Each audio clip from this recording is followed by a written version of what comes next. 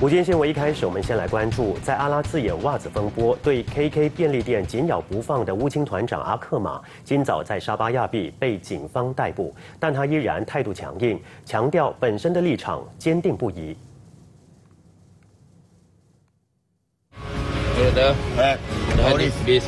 No fear, no surrender. No fear, no surrender.